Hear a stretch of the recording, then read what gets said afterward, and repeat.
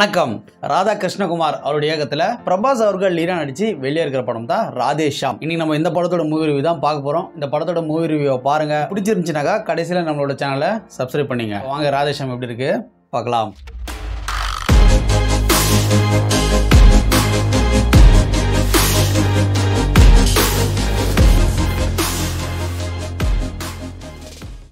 ராதேஷாம் இந்த படத்தோட கதாநாயகனான பிரபாஸ். இவர் வந்து கை தேர்ந்த ஒரு கைரேகை நிபுணருங்க. கைரேகையை பார்த்தே உங்களுடைய ஃபியூச்சர் என்ன அப்படின்னு சொல்லிட்டு கரெக்டாக ப்ரெடிக்ட் பண்ணுவாப்ல எந்த அளவுனா இவர் தான் பாமிஸ்டோட ஐன்ஸ்டைன் அப்படின்னு சொல்ற அளவுக்கு கைரேகை நிபுணர். ஒரு ஆள் வந்து ஃபியூச்சரை ப்ரெடிக்ட் பண்ணுறாங்கனாக்கா அவர் என்ன பண்ணுவாங்க? நாட்டில் இருக்கிற பெரிய ஆளுங்களாம் கூப்பிடுவாங்க இல்லையா? நாட்டில் இருக்கிற பெரிய பெரிய பிள்ளைங்கள்லாம் இவர் கூப்பிட்டு அவங்களோட ஃபியூச்சர் என்ன அப்படின்ற மாதிரி கேட்டுப்பாங்க. எந்த அளவுக்குனா இந்த படமே ஒரு ஆயிரத்தி தொள்ளாயிரத்தி எழுபதுகள் நடக்கிற மாதிரி தான் காட்டுறாங்க. அந்த நேரத்தில் வந்த எமர்ஜென்சி டிக்ளரேஷன் நம்ம இந்திரா காந்தி அவங்க வந்து கொடுத்தாங்க இல்லையா? அந்த எமர்ஜென்சி டிக்ளரேஷன் டிக்ளரேஷன்லயே இவரோட இன்புட் இருந்தது அப்படின்ற மாதிரி காட்டுறாங்க. என்ன கனெக்ட் ஸோ இந்த அளவுக்கு பாமிஸ்டில் கை தேர்ந்த நபரா இவர் வந்து இருக்காரு. ஆனா இவரோட கையில லவ் ரேகை இல்லை. அப்போ சொல்ற இது ஒரு லவ் படம்பா. அவர் கையில வந்து லவ் ரேகே இல்லைன்னா அப்புறம் எப்படி படம் போகுது அப்படின்னு நீங்க கேட்டீங்கன்னா அதுதான் படமே. அதாவது இவர் கையில வந்து அந்த லவ் ரேகை இருக்காது. இவர் வந்து பொண்ணுங்கிட்ட வந்து இந்த லவ் அப்படின்ற மாதிரி ஒரு சப்ஜெக்ட்டுக்குள்ள போக மாட்டாரு. ஃபிளட்ரேஷன் அப்படின்ற மாதிரி ஒரு ரிலேஷன்ஷிப் லவ்வர்ஸ்லாம் என்ன பண்ணுவாங்களோ அது பண்ணுவாங்க. ஆனா அவங்க வந்து கமிட் ஆகிக்க மாட்டாங்க. ஸோ அந்த மாதிரி தான் இவர் வந்து நிறைய பொண்ணுங்கிட்ட பழகிட்டு இருப்பாரு. அதே மாதிரி தான் இவர் வந்து படத்தோட கதாநாயகி பூஜா ஹெக்டேவை பார்ப்பாரு. பார்த்தோன்னே இவங்க ரெண்டு பேருக்கு லவ் வந்துடும் வந்ததுக்கு அப்புறமா பூஜா ஹெக்டேவோட கையை பிரபாஸ் பார்ப்பாரு. பார்த்தோன்னே என்ன சொல்லுவாருனாக்கா நீ நல்லா வாழ்வ நல்லா குழந்தை குட்டியோட வாழ்வுமா அப்படின்னு சொல்லிட்டு சொல்றாரு. ஆனா பூஜா ஹெக்டேக்கு ஒரு நோய் இருக்கு. அந்த நோயினால இவங்க வந்து கிட்டத்தட்ட ஒரு அறுபது நாள் தான் உயிரோட இருக்க போறாங்க. ஸோ அறுபது நாள் மட்டுமே உயிரோட இருக்கிற ஒரு பொண்ணை எப்படி இவர் வந்து இவ்வளோ நாள் வாழ்வா அப்படின்ற மாதிரி சொன்னாரு? பேரடாக்ஸ் முரண்பாடு. ஸோ இவங்களோட ரெண்டு பேரோட லவ் வந்து சேர்ந்துச்சா இல்லையா? அதான் இந்த படத்தோட கதை. இது ஒரு லவ் சப்ஜெக்ட்டுங்க அதாவது ட்ரில்லர் டீசர் பார்க்கும்போதே தெரிஞ்சது இது ஒரு லவ் படம் தான் பெரிய பொருட்செலவில் இந்த படத்தை வந்து எடுத்திருக்காங்க.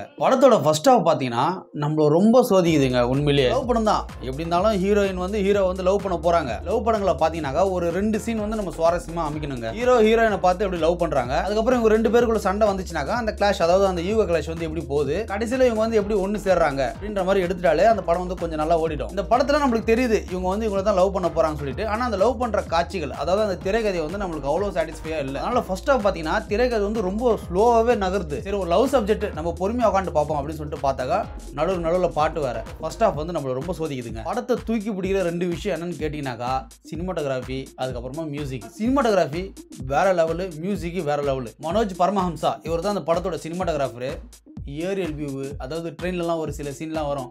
அந்த வியூவு க்ளோஸ்அப் ஷாட்ஸ் சும்மா நம்ம கண்ணை குளிர வச்சிடறாருங்க. அதுக்கப்புறமா படத்தோட மியூசிக் எஸ் தமன் வந்து இந்த படத்துக்கு பேக்ரவுண்ட் ஸ்கோர் கொடுத்துருக்காரு. மனுஷன் வேற வேற லெவலுக்கு போயிட்டே இருக்காருங்க. பேக்ரவுண்ட் மியூசிக் படத்தை வேற லெவலில் எலிவேட் பண்ணுது. பிரபாகரன் தான் அந்த படத்துக்கான பாடல்களை வந்து போட்டிருக்காரு. பாடல்களும் நல்லா கேட்க முடியாதாங்க இருந்தது. அப்புறமா கேரக்டர் டிசைன் படத்தில் ச- சத்யராஜ் கேரக்டர் வந்து ரொம்ப நல்லா இருந்ததுங்க. அதுக்கு அடுத்தது பூஜா ஹெக்டே.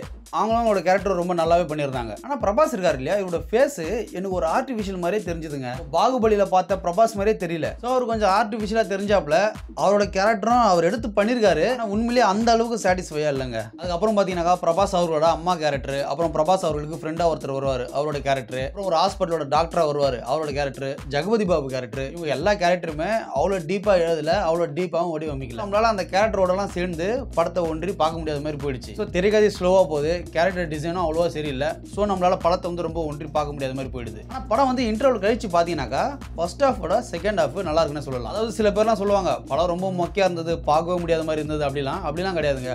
உண்மையிலேயே ஃபர்ஸ்ட் ஆஃப் ஸ்லோவாக இருந்தது. செகண்ட் ஆஃப்ல பார்த்தீங்கன்னாக்கா நான் முன்னாடியே சொன்ன மாதிரி பிரபாஸ் அவர்கள் நீ வந்து நல்லா வாழ்வா அப்படின்ற மாதிரி சொல்லிடுவார். ஆனால் இவங்க வந்து ஒரு அறுபது நாள் இறக்க போகிறாங்க இல்லையா? அந்த ஒரு கான்ஃபிளிக் ரொம்ப நல்லா இருந்தது. ஸோ நம்ம உண்மையிலேயே அந்த லவ்வோட எசன்ஸை எப்போ நம்மளால உணர முடிஞ்சதுன்னா செகண்ட் ஆஃப்ல தாங்க. செகண்ட் ஆஃபோட கிளைமேக்ஸ் ஒரு மிகப்பெரிய பொருட்செலவில் வந்து எடுத்திருக்காங்க. படத்தோட சிஜியை சொல்லி ஆகணும். சிஜி வந்து ஒரு செவன்ட்டி பர்சன்டேஜ் ப்ளஸ்னு சொல்லலாம். ஒரு தேர்ட்டி பர்சன்டேஜ் மைனஸ்னு சொல்லலாம். ஒரு சில இடத்துலலாம் அதாவது இந்த காட்சியோட ரொம்ப பிரம்மாண்டமாக காட்டுறதுக்காக சிஜி வந்து யூஸ் பண்ணியிருக்காங்க ரொம்ப நல்லா இருந்தது. ஆனால் ஒரு சில இடத்துல சிஜி வந்து பிசிறு தட்டுச்சு. ஸோ இந்த கிளைமேக்ஸில் இவங்க எடுத்த சிஜி ரொம்ப நல்லா இருந்ததுங்க. முதல்ல இந்த ராஜேஷாம் எப்படி இருக்கு அப்படின்னு நீங்கள் என்கிட்ட கேட்டிங்கனாக்கா ஃபர்ஸ்ட் ஹாஃப் ரொம்ப ஸ்லோவாக போகும் உங்களை சோதிக்கும். செகண்ட் ஹாஃப் வந்து நீங்கள் பார்க்க முடியாதான் இருக்கும். இந்த படத்தை வந்து எந்த ஆடியன்ஸை டார்கெட் பண்ணி எடுத்தாங்க? ஒரு லவ் கப்புள்ஸை ஒரு லவ் ஆடியன்ஸை இவங்க வந்து டார்கெட் பண்ணி எடுத்தாங்க இல்லையா? அவங்கள வந்து இந்த படம் சாட்டிஸ்ஃபை பண்ணிடுங்க. ஆனால் ஒரு கமர்ஷியல் ஆடியன்ஸ் ஆகட்டும் இல்லை இந்த ஏ கிளாஸ் ஆடியன்ஸ் ஆகட்டும் இவங்க ரெண்டு பேரும் அந்த படம் சாட்டிஸ்ஃபை பண்ணாது. படம் ரிலீஸ் ஆயிருக்கு.